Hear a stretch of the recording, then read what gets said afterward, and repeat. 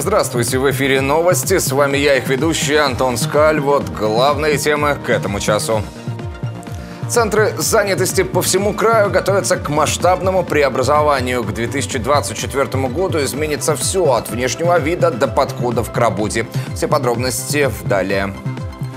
В Краевой клинической больнице скорой медицинской помощи проводят суперсовременную диагностику сердечных заболеваний и другие жизненно важные процедуры.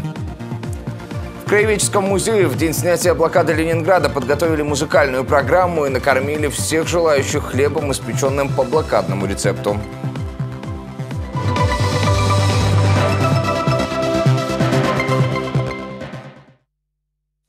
В Алтайском крае перевыполнили целевой показатель национального проекта по вводу жилья в 2020 году. Об этом в ходе онлайн-конференции сообщил министр строительства и жилищно-коммунального хозяйства региона Иван Гилев.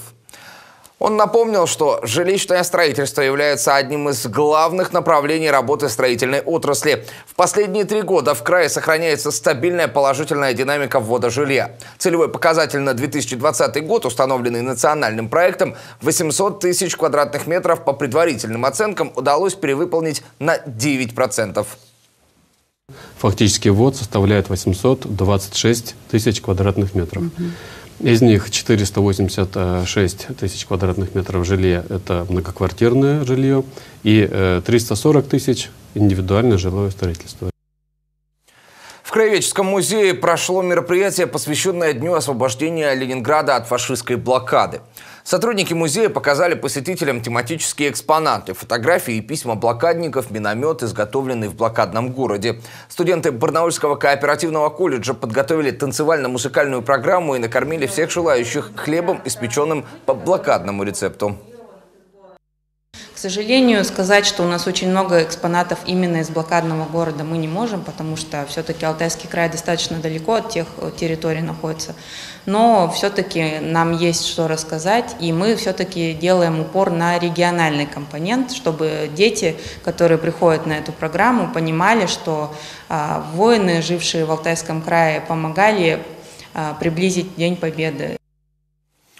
Оказывать экстренную медицинскую помощь стали быстрее. Теперь в Краевой клинической больнице скорой медицинской помощи проводят суперсовременную диагностику сердечных заболеваний и другие жизненно важные процедуры. Раньше пациентов с коронарным синдромом необходимо было переводить в кардиоцентр для дальнейшей диагностики и лечения. Теперь на базе рентген-отделения выполняются диагностические исследования сердца с последующей установкой стентов. Это конструкции, которые обеспечивают беспрепятственное прохождение крови в суженных сосудах. С помощью данной системы а, есть возможность оказывать своевременную, качественную, высокотехнологичную медицинскую помощь пациентам экстренным, с острыми заболеваниями сердечно-сосудистой системы, неотложной хирургии, гинекологии, а также пациентам с тяжелой сочетанной травмой. В больницы скорой помощи попадают пациенты с инфарктом миокарда, ишемической болезнью сердца, тяжелыми травмами, острыми хирургическими состояниями, гинекологическими кровотечениями. То есть проводится комплексная работа всех отделений. У нас по статистике порядка 168 больных с инфарктом миокарда поступает и 260 больных с э, нестабильностью на. Поэтому необходимость проведения данного исследования э, давно назрела, насущная и очень необходимо важное исследование. Особенно острое состояние, что с инсультом связано, что с э, острым коронарным синдромом, чем быстро начато лечение, тем эффективность выше. Около недели назад Юрий пришел на работу и плохо себя почувствовал. Он вызвал скорую, которая доставила его в краевую больницу. Ему срочно сделали операцию с использованием новых методов. Уже на третий день пациент почувствовал себя хорошо. Оперативно это все, операцию сделали, и все, и с реанимацией уже в палату. И, ну, профессионально, короче, сработали, потому вот с вами разговариваю. На сегодняшний день эндоваскулярный метод применяется при лечении пациентов с различной сопутствующей патологией, и показания к вмешательству будут расширяться. За неполный год мы выполнили больше 350 процедур. Вот. Надеемся, что в этом году мы сделаем еще больше. И расширим спектр тоже наших процедур. Будем как и в хирургии вмешиваться, в гинекологии мы также оказываем помощь, ну и кардиология. Операции теперь проходят безболезненно, под местной анестезией. Наркоз не нужен, потому что до сердца, например, можно добраться по артериям, сделав небольшой надрез в руке или бедре пациента. Восстановление после таких вмешательств происходит быстрее. Юлия Шаламова, Алексей Шаульский. Новости.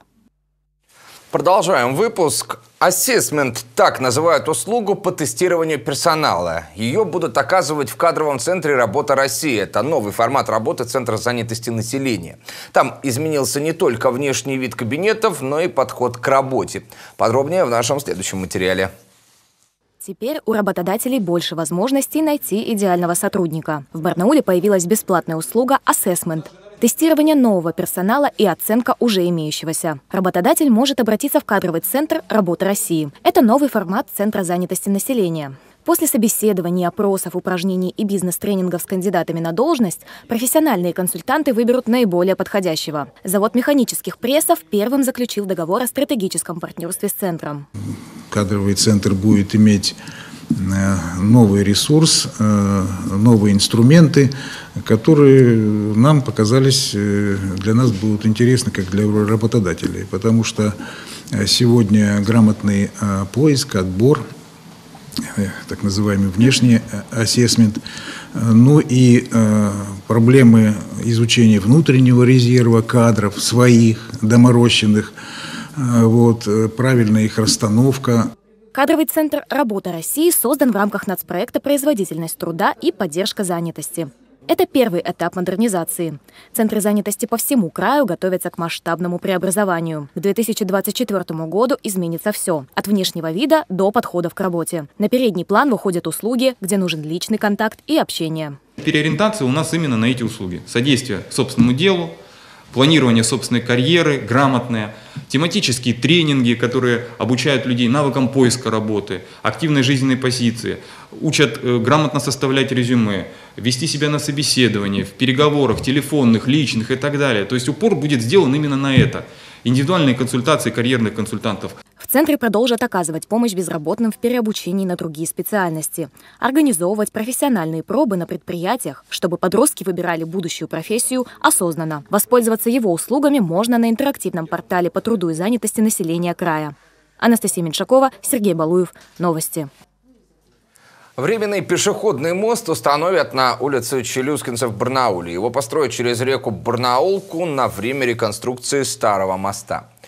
Длина временного металлического пешеходного моста 36 метров, ширина 1 метр. Временную переправу установят в первой половине февраля. Закончить ремонт моста дорожники планируют до 1 ноября 2021 года.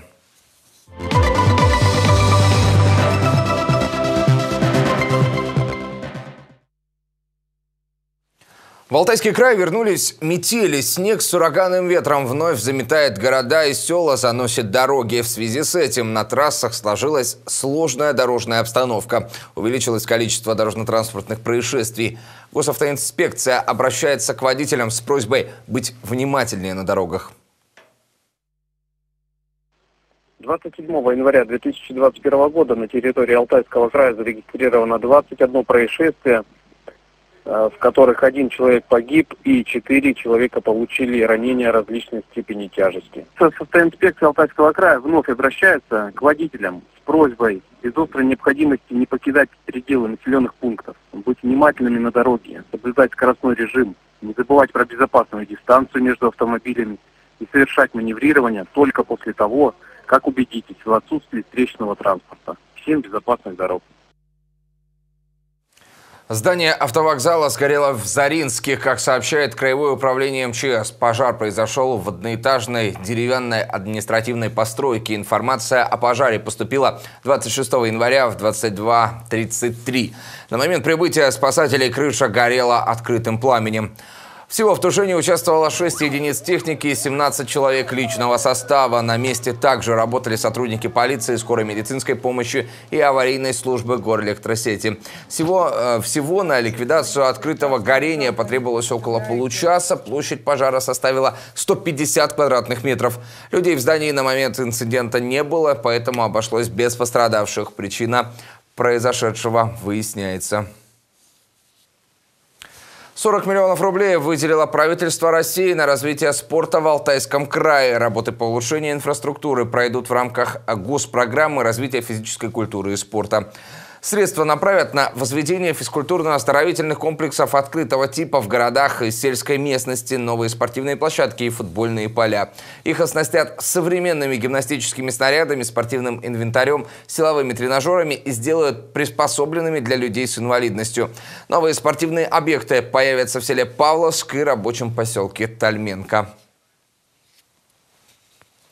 Продолжим о спорте. Хоккейный клуб «Динамо Алтай» сегодня сыграет первый матч в серии против Курганского юниора. Футбольная команда инвалидов-ампутантов готовится к чемпионату России. В Барнауле пройдет первенство и чемпионат по смешанному боевому единоборству ММА. Все подробности расскажет Дмитрий Дроздов в рубрике «Спорт-обзор». Хоккеисты «Динамо Алтай» сегодня сыграют свой первый матч в серии против курганского юниора. Барнаульцы продолжают погоню за Чебоксарами в турнирной таблице, имея в своем активе 45 очков. До первой строчки не хватает всего 3 балла. Соперник «Динамо Алтай» провел в текущем сезоне 28 игр. На данный момент юниор замыкает турнирную таблицу первенства высшей хоккейной лиги, набрав по итогам сыгранных матчей 13 очков. Подопечные Алексея Денисова держали 6 побед и проиграли в 22 встречах. По личным противостояниям «Динамо Алтай» переигрывает юниор 13-9. Матчи пройдут 27, 28, 30 и 31 января. Футбольная команда инвалидов-ампутантов «Динамо Алтай» готовится к чемпионату России. Он состоится в конце марта. На данный момент подопечные Леонида Кинякина являются фаворитами. Свое первое золото на чемпионате России команда взяла в 2004 году. Всего в их активе 6 титулов.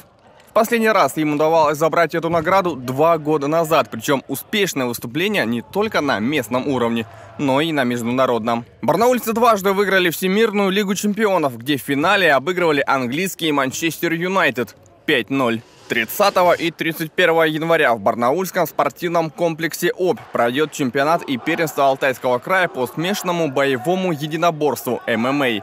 Сильнейшие бойцы региона сразятся за право попасть в сборную Алтайского края и выступить на чемпионате Сибирского федерального округа. В связи с эпид-обстановкой в регионе турнир пройдет с соблюдением всех профилактических мер с ограниченным количеством зрителей. Вход на турнир строго по пригласительным билетам. Также будет организована прямая трансляция турнира в группе ВКонтакте «Союз ММА Алтайского края».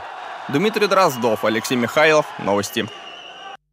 Закончим этот выпуск новостями культуры. В Алтайском краевом театре драмы имени Василия Макаровича Шукшина начались репетиции пьесы бельгийского драматурга Фернана Крамелинка «Жар и холод» или «Идея господина дома». Это первая премьера сезона в год великого юбилея театра, в год векового юбилея театра. Режиссер постановки Владимир Золотарь вернулся в театр спустя 12 лет. Напомню, в 2000-х он в течение шести лет был главным режиссером театра. Нет, это был хлопок на 5 нормальный рабочий темп. Я же вам сказал, по хлопку, ребята. Один Витек, по-моему, сообразил. Молодец. Вот прям держать. Владимир Золотарь проводит для артистов театра драмы мастер-классы. Их посещают не только актеры «Жара» и «Холод». В пьесе всего, кстати, 8 ролей, а задействовано 11 актеров. Некоторые играют в двух составах предощущение, что было бы интересно, наверное, сделать что-то с абсолютно новой компанией, с учетом, что труппа наполовину, если не на две трети, обновилась. Как раз принципиально с артистами, которых я не знаю, как бы в новом для себя театре. Да, это, э, конечно, и это, э, и то, что как раз жар и холод вполне себе распределяется на э, молодую часть труппы. Понятно, да? Премьера пьесы «Жар и холод» или «Идея господина Дома» состоится 27 марта в Всемирный день театра. На этом у меня пока все. Еще больше новостей ищите на нашем сайте katuny24.ru, а также в наших группах в социальных сетях. Что касается этого дня, его итоги подведем, как всегда, в 20.30. Не переключайтесь. Желаю вам хорошего вечера, отличных новостей. И помните, смотря телеканал Катунь 24, вы первыми узнаете о самых важных событиях в жизни нашего региона.